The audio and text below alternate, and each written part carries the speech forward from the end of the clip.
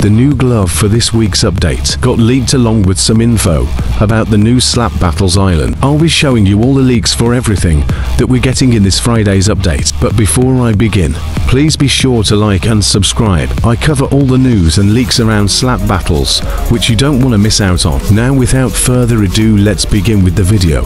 First off, let's talk about the new glove which is the grappling hook glove. It has 50 to power and 15 speed with a grapple ability.